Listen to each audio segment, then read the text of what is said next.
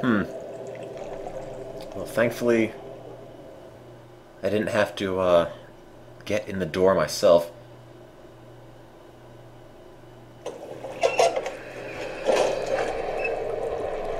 Ah, can't get me in here.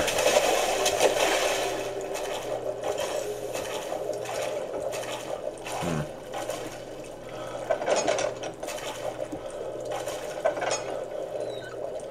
You know, it shouldn't be that easy to open a door when it's partially submerged, but what do I know? Like, run? Why? Oh, that's why! Okay!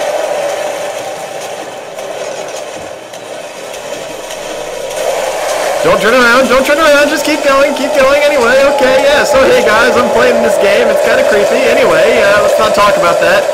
I don't know where I'm going, I'm going in a big circle. Oh god, where do I go? Something down, down, down, why? Uh, okay, going this way, I think that's a door. Let's open the door, let's try to open the door. Thanks, game, okay, anyway. Going straight, going straight. Can I close the door? Oh, there's no time. Just keep running. Okay, there's crap in the way. Hopefully that'll stop it. I don't think it's stopping. Let's open the other door. Run through the other door. Close the other door. No, don't get hit in the face. That's bad.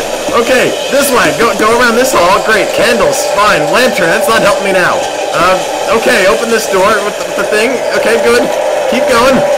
We got this. Alright. Um, that's not helping. The walls are bulging. I'm dying. Everything's red. I can't see anything at all. Open the door. Okay, we're safe.